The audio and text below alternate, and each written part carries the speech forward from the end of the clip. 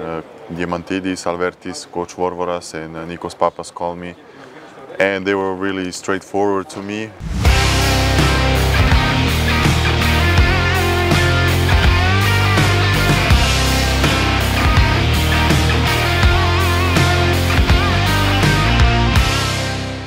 Uh, they only mentioned my basketball qualities and what I can bring to this team.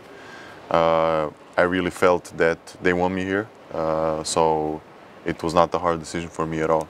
Uh, so uh, that means that Alvertis and Diamantidis were the main reasons, maybe, for your final decision. Uh, they were a big factor for sure. Big factor when you see two legends like that close to the team, close to the club, being every day in practice with us uh, is huge. Uh, what Coach Vovoras told you and convinced you to come and play? He offered me a, a- a position to be a leader, to be a leader, to feel important. I'm 29 years old. I think I'm entering my best basketball years, and uh, I'm more mature.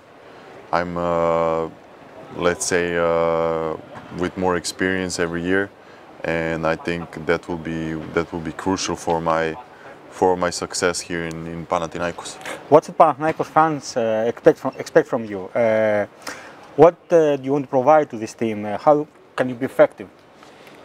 Yeah, the last two years, kind of, let's say everybody everybody forgot about me. Uh, I had a lot of troubles with with injuries my last two years. Uh, I didn't play my best basketball. I was not able to show my best basketball, and you know I have a lot of a lot to prove. Uh, first of all, they can ex- uh, expect me uh, to, to to be 100% dedicated to this team, to this club. Uh, I want to make the best out of this season, and then you know, uh, hopefully, we can stay together for many more years. Um, speaking of the injuries, you, you said, uh, what is your answer for those who says that uh, Ned can't play the, the level he was uh, used to play? And secondly, uh, what's your condition right now concerning uh, the troubles you have? I don't have any answer for, for those people. Uh, I think uh, I will prove myself on the court, and my playing will will talk.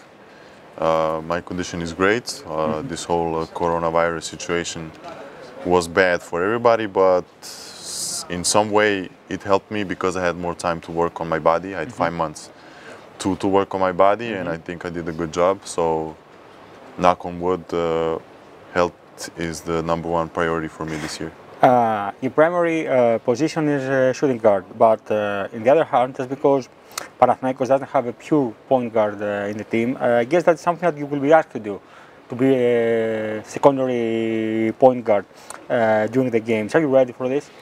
I like to facilitate off the ball, playing as a two. But if coach needs me to play point guard some games, I have no problem with that.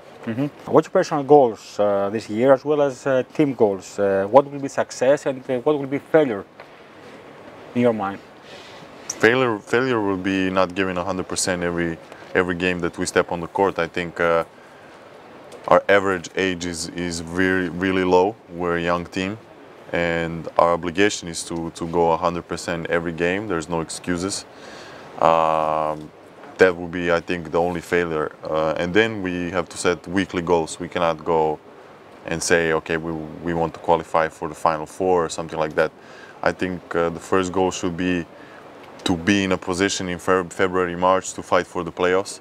And, uh, you know, qualifying for the playoffs would be already great. And then we would see anything can happen. You signed uh, you signed the contract for one year. Uh, that means that uh, you have to, you want to have a great season Panathinaikos and afterwards to find a better contract somewhere else, or Oaka is the place uh, that you want to stay here uh, for many years. Look, these four weeks that I've been here, I feel really, really comfortable. Like I lived here for four years, not four weeks. So, you know, anything can happen. Uh, like I said, my first goal is to stay healthy, help the team as much as possible, uh, play my best basketball again, and then we will see. I think it's too early to talk about, about those things. Uh, I should not be focused on that. I should be focused only on the court, and that's my, that's my goal. Uh, when you first uh, signed for Panathinaikos, you said something about Panathinaikos and Obradovic, that you used to watch uh, Panathinaikos for Obradovic. Uh, were you Panathinaikos fans because of uh, Obradovic? I can say that I was fan of their basketball because they were playing the best basketball in, in Europe for sure. Uh, it's kind of that uh, my generation in Serbia grew up on the successes of Panathinaikos, uh, especially in EuroLeague. Uh, you know, Panathinaikos was the team you look up to uh, in in in uh, let's say the last 20 years. So for sure, I was a fan of of, of, of this style of basketball of, of this team, and to represent it now is a great honor. How do you expect this season uh, concerning the pandemic? Uh, what scares you the most, maybe? Um, it will be strange for sure. I still don't know how, what what the strict uh, what the protocols will be, but I'm I'm sure that they will be really strict because you know health is the number one priority, and we all have to work together to to uh, not endanger anybody around us. So, you know, we still have to see how things will uh, evolve. Uh, hopefully, this whole thing will uh, be over soon and the fans can come back to, to watch the games because, you know, especially here, I think uh, empty gym and with fans is, is totally different. Uh, if you have to make a prediction for the top eight, what do you do? Top eight? Yeah.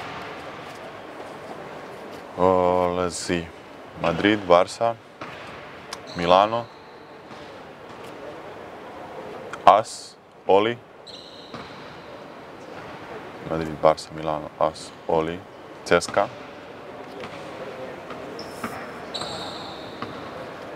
I need two more, right? You said Barca? I need two more, so yeah, I said Barca. Um, let's say Khimki Maccabi.